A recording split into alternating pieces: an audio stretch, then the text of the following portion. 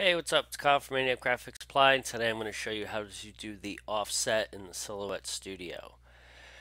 This is a super cool feature if you want to do some offset colors or things like that. Give some dimension to your design. So I have awesome typed out. So first thing I'm going to do is I'm going to weld this because you don't want these these little lines here. So I'm just going to go ahead to my modify panel and hit weld.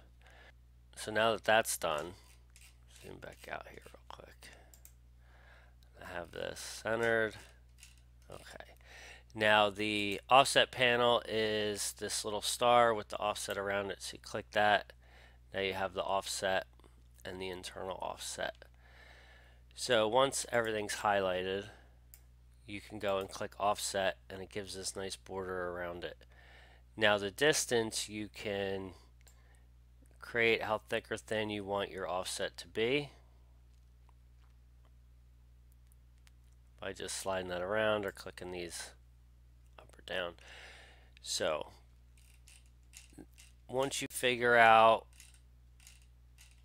how much distance you want here, now you get to decide whether you want the uh, sharp edge or the rounded edge. I usually go with the rounded edge I personally like that better.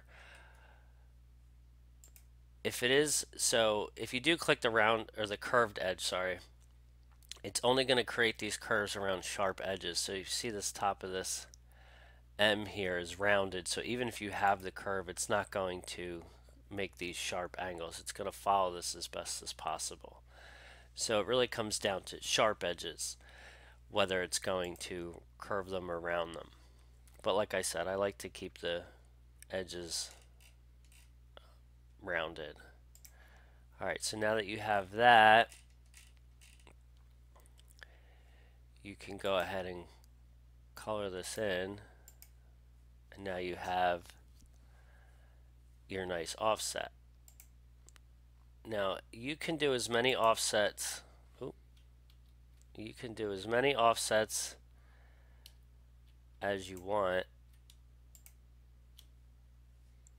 So I'm going to show you if you just click that again, it creates another offset. We can apply that and then we can go ahead and color that another color. And then that creates another layer of offsets. It's pretty simple. It's pretty easy. That's the basic offset. If you have any questions, please let me know. Thanks.